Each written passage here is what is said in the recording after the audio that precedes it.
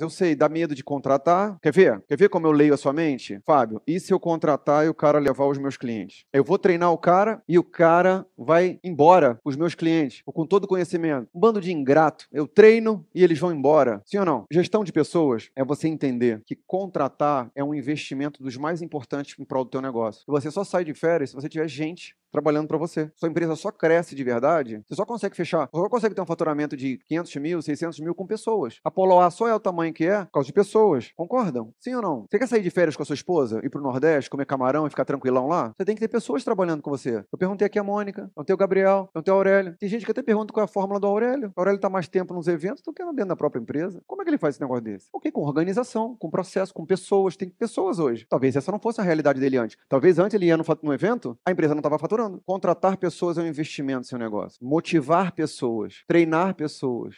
Você quer estar pessoalmente comigo no próximo Congresso Nacional de Climatização?